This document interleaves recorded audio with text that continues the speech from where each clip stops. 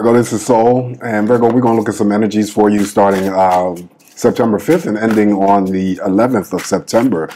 Ooh, 2022, the anniversary of uh, 9 11 and also the passing of my mother. May she rest in peace. All right, so yeah, Virgo suns, moons, Virgo rising signs, singles, couples, and Virgos who are into same-sex loving energies. Um, this week, I thought I was going to use the um, Arcanum uh, tarot deck, as I mentioned in the uh, last video that I had posted for you, but I decided to use animal cards this week, you know, to get away from the people uh, a little bit. But I do want to uh, compliment your reading with um, this new deck here, also that I received uh, along with the um, Nothing But the Tea deck, Order in the Court. So there are some serious messages here. Um, so of course, all these cards will be in the upright position. Uh, I did have a chance to look at each card. Uh, they're very beautiful cards. They're just, you know, animals representing the, um, the tarot.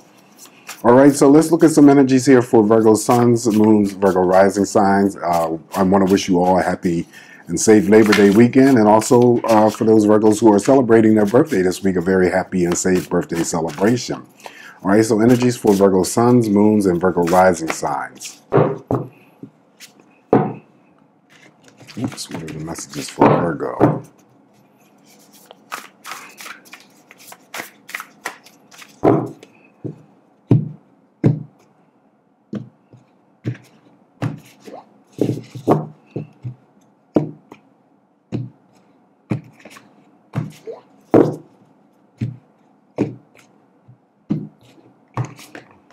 Right, Virgo. So we're going to start the uh, card, the first card, and open up the uh, week's energy for you. And we got the uh, Ten of Wands. So okay, the Ten of Wands is okay. I still with if it's animals or people, it still would be you know my my busy bee. So this is the extremely busy bee type of energy. So some of you may be finding yourself as the week opens up, just being busy, doing things, uh, Virgo, for yourself, for your family, for maybe work related. Uh, but it's all good. The Ten of Wands is just uh, letting you know that you will have the uh, energy to accomplish anything that is uh, either slated on your plate or things that come up along the way. Ten of Wands represent fire energy, Aries, Leo, and Sagittarius. The shadow energy is the Nine of Wands. So, of course, it's in conjunction with the Ten of Wands that you guys are going to be somewhat busy this week. So, the same thing applies in terms of the messages for your shadow energy, the Nine of Wands, and that also represents uh, Aries, Leo, and Sagittarius. So this is going to be a busy week for you guys, all right? So hopefully, you know, it's busy and also positive for you as well. Following the Ten of Wands, now we have the Page of Wands. See, there we go. New good news is coming in. Page of Wands is here, and it's always a touch of surprise. This is card of creativity, you know, starting new hobbies, uh, being passionate about starting uh, anything, not just, you know, exclusive to hobbies or creativity. It could be relationships, uh, you know, platonic, romantic, could be, you know, anything going on with your family, um, you know, your friends. Well, I did say platonic, but it could also be, um, you know, your significant others. You know, the Page of Wands is a, the start of something new, something passionate, something creative, and, you know, could be hobbies. So, you know, anything that you are about to start here, you'll be going to um, be passionate about that. Okay. And then there's an expectation of uh, some news coming in that's going to be very, very good for some of you and, and may even put a smile on your face. So that Page of Wands represents uh, Aries, Leo, and Sagittarius. And so far, we're getting all fire. So I don't know if you guys are, have some sort of engagement with fire signs, but the energy is uh, showing up. Now we have the Seven of Pentacles. Now your own energy is here. So some of you may be focused on your work. And I always say, you know, working hard for those coins. Um, so the animals, if you haven't, you know, been able to clearly see them, in the Ten of Wands, it's fish. Look like, I don't know if it's tuna, or uh, the rainbow trout. Could be, this is a raven, looks like a raven to me, and then here we have a spider. Seven of Pentacles is, uh, you know, the card of options, so there could be some options opening up for you in all areas. Uh, also, someone still could be getting a pay raise. But I feel that the, you know, the focus for some of you is going to be on your work and your income, okay? Trying to, you know, possibly improve your income or just stay focused on, um, money matters. which is not bad, which is good. Okay, so the Seven of Pentacles here represents you, uh, Virgo, Capricorn, and Taurus. Up next, up it gets better. See, it's the Eight of Pentacles. All right, so the Eight of Pentacles, and we have the bee here, always working in that high. So this is a worker bee, but that worker bee is focused. But he's also he or she is also well would be a he, right? Because the Queen is the only one that um, the worker bees are all males, as far as I I know. Somebody correct me because it could be females that are workers. Somehow, I, I you know, I should know it because I, I, you know, I study biology and that's my degree. So, but it's not coming to me right now. Anyway, um, you know, focused on work. It's a balancing type of energy, just like Seven of Pentacles here. It's the card of options. Um, money improves, and you know, again, focusing on your money. There could be some money coming in um, for some Virgos this week because it mirrors the uh, Page of Wands, which is good news. There's some sort of aspect of good news. But I'm going to take a look at this uh, Raven here because he's facing in the past direction. So it may be good news that you receive, Virgo, for something that you've done in the past or um, something related to that. Uh, you know, some sort of past energy. So the Eight of Pentacles here is uh, you, uh, yeah, you Virgo, Taurus, and Capricorn. I'm sorry.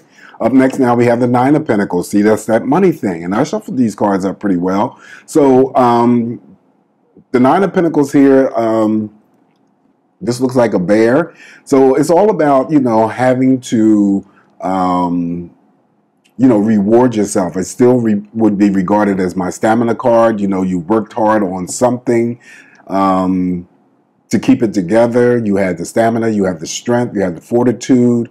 Uh, it still could represent someone getting a substantial pay raise, you know, and or a job. It could be a promotion.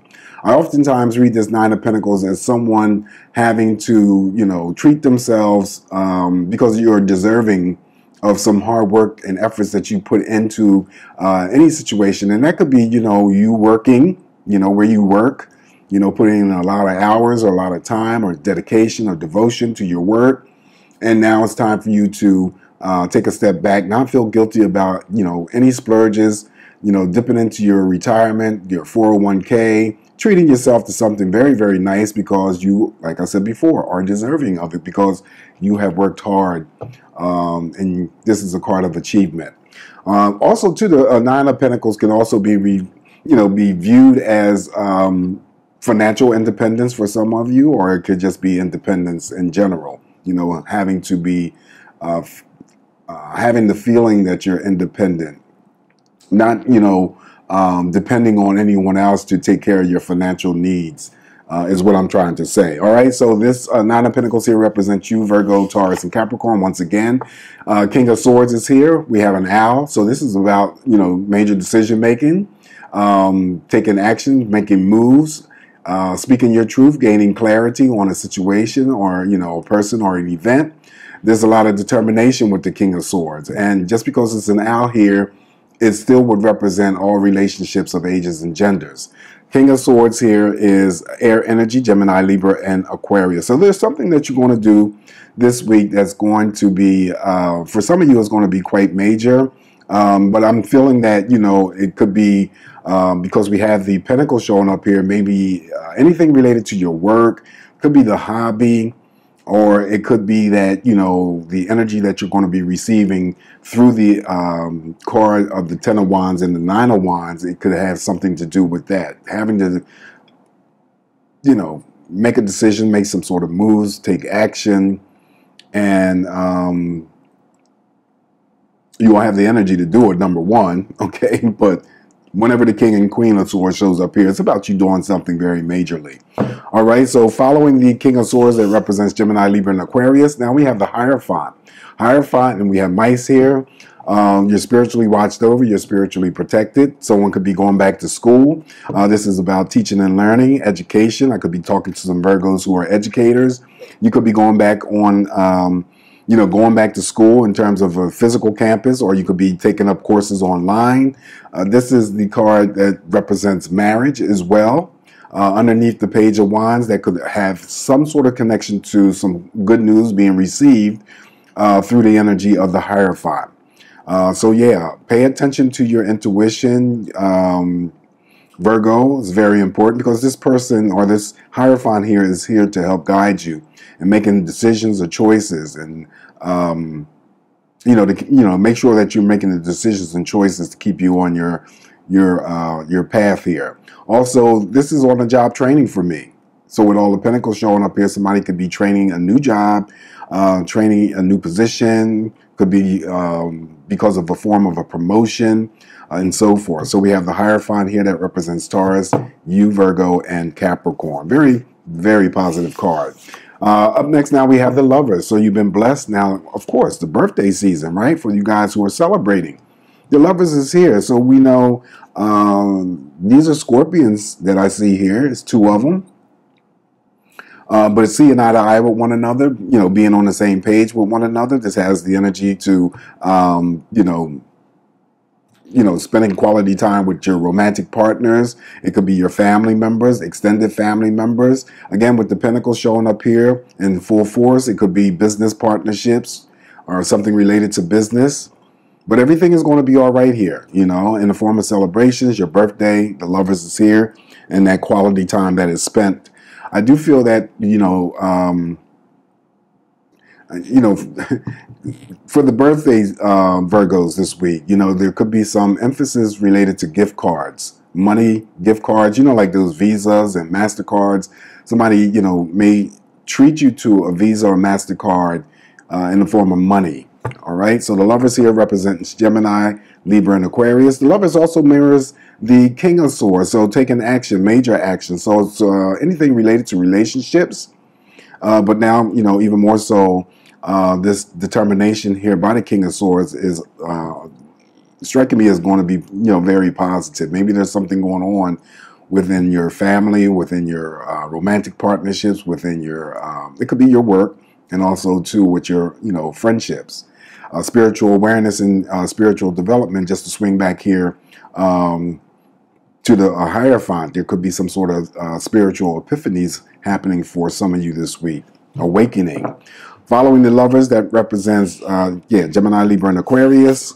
Now we have the chariot. You have a third major arcana. And this is, um, I don't know, I guess this would be a bovine or whatever. So the chariot is here, and this is something very positive. It is the card that I associate with the star card, hopes, wishes, and dreams becoming fulfilled and manifested. If you are traveling, if it's work related, vacationing, you know, say passage to, say passage from. Again, with the pentacles showing up, someone could be purchasing a car. Someone may be taking action. That's the thinking and, and taking major moves or determination. And it may be for Virgo that I'm reading for and they had already decided or thought about purchasing a new car, getting rid of the, uh, you know, the car that's not you know, working. Or it could be a, you know, your first car. So let me put it out there. It's not just that, you know, I'm reading for Virgos who already own cars. It could be your very first car purchase. Also, I get, you know, car repairs, major or minor. Just don't be that Virgo that gets behind the wheel of the car and, um, you know, re- disregard the speed limit because I always see this as a moving violation. But something is very, very positive that's coming your way, maybe connected to the Page of Wands again and, and hearing some, you know, some sort of news that'll put a smile on your face. And it may be an element of a touch of surprise. All right, so the chariot here represents Cancer, Scorpio, and Pisces. The other thing I want to include is social networking. Uh, because I equate this chariot oftentimes with that of the star card and the nine of cups. So social work, social networking. Uh, it could be, you know, someone could be online applying for jobs, um, looking for a different, um, you know, it could be even a change of career, building up alliances. It could be business alliances, platonic alliances, romantic alliances whatever the uh, energy may be for you. The chariot is here. Last card we have for you is the strength card. Well, you finish off very positive here, Virgo. I like that. Stress card, strength card, I'm sorry. Now we have a snake here. We have a heart, and then we have a mouth. So, hmm. okay, so having the strength, feeling powerful, feeling, um, you know, very courageous, uh, nothing is going to stop you from doing what you need to do this week. Any obstacles that come your way, you're going to overcome those obstacles. This is a card of passion, deep passion, also sexual energy, sexual expression. There is no fear um, for you this week uh, in terms of moving along. You know, you got everything One, two, three, four. Yeah, four major can- arcanas, and they're the last one's in your spread here. Wow. So this is some dynamic energy here for you. Now, surprisingly, um, and it's not really important, and it wasn't even necessary. We didn't receive any cups, but that's okay. All right. So uh, again, uh, this is a large deck. I haven't decided how many cards I'm going to uh, toss, but this is order in the court, and uh, use these messages however you um, deem necessary. Okay, and, and, you know I have to throw out reminders um, every now and again because you know these are just you know readings that I'm doing. It's for entertainment purposes only. Uh, take the energies um, you know that resonate with you, and then leave the rest behind. All right, so let's see. Order in the court. What's going on here with the messages for Virgo? Uh, referring to order in the court. This is one deck. Look how thick this damn deck is. All right, so um, in saving space here, I'm just going to plug from the top after the shuffle here. Um, this is just a message. You can take it however you want. It's a message here. The gig is up. Game over. Um, let's toss another one. The East Eastern. So that may mean some sort of significance for some of you, especially because we have the chariot here. Someone may be heading east or going eastern. Um, this one here says attention, teamwork, do your part. It says do your part and let your spirit team do the rest. All right, let me just read the shadow here. I think that's all I'm going to um, draw. And interestingly enough, the zodiac sign Aquarius shows up here. So I don't know if that is an indication that some of you are in relationships with Aquarius. There's could be Aquarius that is uh, interested in you, Virgo. And it's all to, you know, since this is an open general reading, this could be family members, but the Aquarius energy is uh, showing up and is dominant. So there may be some type of energy and uh, possibly throughout this upcoming week that there's some sort of exchange or interactions with an Aquarius. However, that energy may open up. And that's what I have for you, um, Virgo, this week. You know, I want to make this energy plain and simple and understandable. Please give this video a thumbs up. I'd appreciate that. Also, you know, whatever you do, just do it safely. Be well. Those Virgos who are enjoying their birthdays, once again, please enjoy your birthday. Be happy and um, definitely be safe. And I'll talk to you soon. Keep smiling for me, Virgo. Bye.